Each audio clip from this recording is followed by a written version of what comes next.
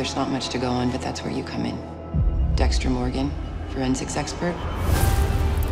He's drifting further toward Kurt. He was probably a murderer. Yeah, and so are you. Wow, that's fair. You know, there was a time when I thought you and I would be friends. Except you kill innocent women and I kill guys like you.